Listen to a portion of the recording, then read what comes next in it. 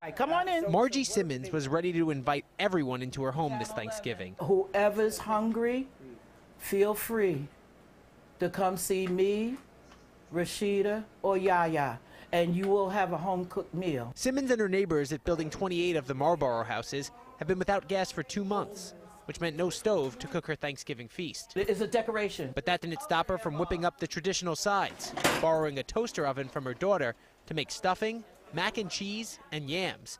The turkey swapped out for a smaller bird due to the limited size of her deep fryer.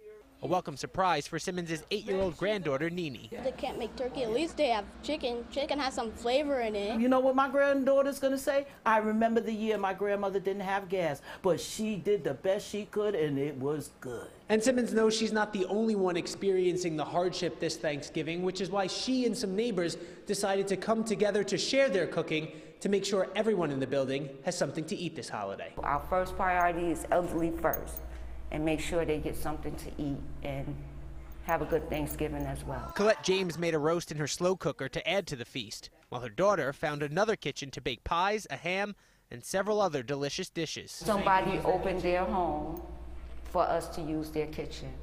And I think that is just awesome because they didn't have to do that. Neighbors said they could smell the cooking in the hallways and stopped in, only to leave with a Thanksgiving feast to take back to their own apartments. We are a bunch of strong ass women.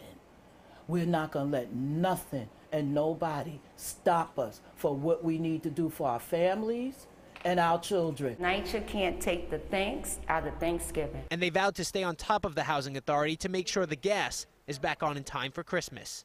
Reporting from Gravesend, Joe Mauceri, Pix 11 News.